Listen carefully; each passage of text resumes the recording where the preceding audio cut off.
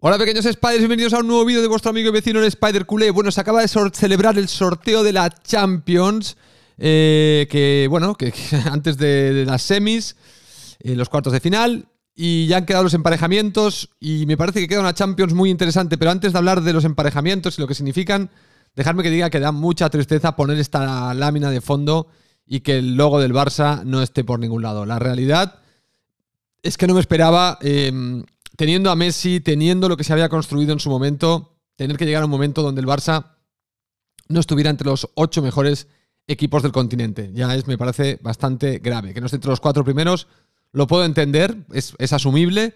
Eh, entrar, no estar entre los ocho primeros es, lamentable, es, es, dramático y espero que la Porta corrija esto y el año que viene, por lo menos en esta instancia de la Champions, el Barça esté presente, porque me parece que por lo mínimo que se le puede exigir al Barça es estar entre los ocho mejores clubes de Europa. Y lo ideal es estar entre los cuatro primeros. O sea, ganar la Champions es ya la hostia, ¿no? Bueno, vamos a hablar de los emparejamientos. Lo primero, lo primero, muy importante, al PSG le ha tocado el Bayern de Múnich. Esto implica que si el Barça hubiese pasado, el Barça estaría jugando contra el Bayern de Múnich. ¿Estábamos preparados para jugar contra el Bayern de Múnich a pesar de la mejora? ¿Teníamos cojones para enfrentarnos al Bayern ahora? Mirar, yo después de Balaídos dije, Bayern, vamos a por ti, y la cagué. Y reconozco que en algún punto pedía el caer eliminados eh, más o menos con dignidad por el temor a que pasara esto. A mí me daba mucho miedo volverme a enfrentar al Bayern y que nos pintara la cara de una forma bochornosa, viendo además que el PSG nos la pintó en un solo partido también. Con lo cual el riesgo de ridículo atómico estaba garantizado en caso de que tocara según quién en la siguiente ronda. Por lo tanto, no es que esté contento que el Barça no esté aquí, porque digo, el Barça tendría que estar aquí. Pero dentro de buscando el ángulo eh, de consuelo, de decir, bueno, pues mira, oye, nos estamos ahorrando el potencialmente tener un bochorno contra el Bayern que nos toque la moral para no poder competir en Copa del Rey en lo que queda de liga, que son dos torneos que ahora están eh, potencialmente disponibles para ser ganados y que habiendo tenido un tropiezo muy grosero contra un Bayern de Múnich, pues quizá nos hubiese afectado la moral y, nos hubiese corroído y, nos hubiese dejado tocados para competir para dos títulos que sí son posibles con la plantilla actual y con el técnico actual, con lo cual está, bueno, pues el consuelo de tontos. No estamos, nos hemos ahorrado al, al Bayern. Esa eliminatoria es muy interesante, la quiero ver, verdaderamente quiero ver el nivel del PSG ante el Bayern de Múnich. Quiero ver también al Manchester City contra el Borussia Dortmund, me interesa, es un partido que me parece muy interesante. Y no os digo ya nada del, del Liverpool eh, Real Madrid que vamos a comentar ahora y luego el del Chelsea Oporto que es el menos interesante de, de todos los partidos. Del Real Madrid Liverpool vamos a hablar de que son dos equipos que no llegan en buena forma. Es decir, nos encantaría pensar que el Liverpool va a arrasar al Real Madrid. Yo, yo ahora en estos momentos doy como favorito al Liverpool porque he visto al Real Madrid y verdaderamente no me da, no es un equipo que me dé mucha confianza, pero es verdad que el Liverpool no es el Liverpool de los últimos dos años, es otro Liverpool y el efecto Klopp se ha pasado. ¿Por qué se ha pasado? Bueno, por lo que digo en muchos vídeos, en la plantilla del, Liverpool se ha visto muy minimizada por las lesiones en defensa y evidentemente esto le está penalizando.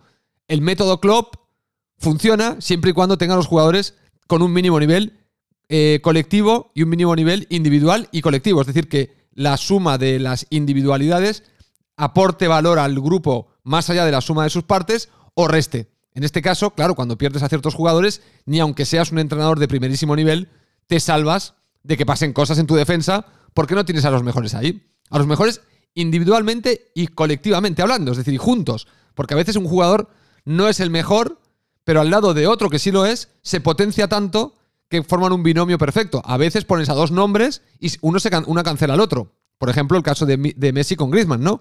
Por nombres, los dos son nombres pero sin embargo parece que Griezmann ha quedado cancelado en esa delantera. No sabemos si por Messi o por qué, pero no acaba de entrar en sus números del Atlético de Madrid hasta el punto de que Griezmann está en números de cuando estaba en la Real Sociedad. O sea, con esto lo decimos todos. Por eso no es un tema de nombres cuando hablamos de plantilla, es un tema de, de los dos puntos que siempre hablo, de tener jugadores de calidad individual que además esa calidad individual se amolde a las características del equipo y del grupo, de forma que se potencien tanto el grupo como el individuo.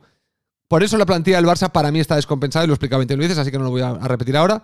y es lo que le pasa ahora al Liverpool. El Liverpool ha quedado descompensado, porque evidentemente si tú tienes un 11 titular ideal y se te caen tres piezas en la defensa, hombre, pues quedas descompensado. Por más que traigas a tres más, por más que la idea del grupal sea súper sólida, por más que el entrenador sea una bestia, por más... Claro, si te quitas a tres piezas fundamentales de la defensa, pues es evidente que te vas a resentir. Porque si no estaríamos diciendo que da igual a quién pongas.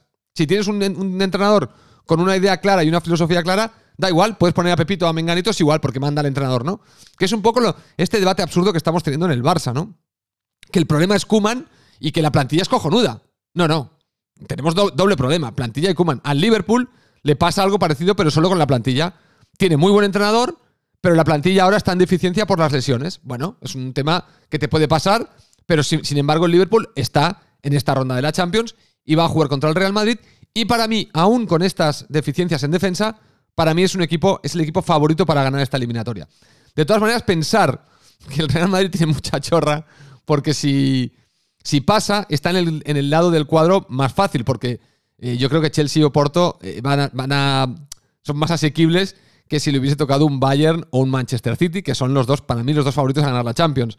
Eh, o sea, han quedado ellos emparejados para cancelarse entre ellos antes de llegar a la final.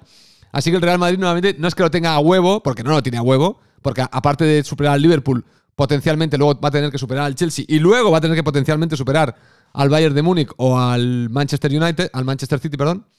Con lo cual no es que no tenga un paseo por el, por el jardín, ¿no? Así tipo con una faldita y la, la, la, la. Hostia, perdón, que me muero. Pero bueno, que ah, esta, esta, esta, esta, chiste, el karma, este chiste de falditas me ha pasado factura, ¿ves? ¿Eh? El, universo me ha tirado a la garganta un rayo para que me quede aquí medio atascado y no pueda seguir.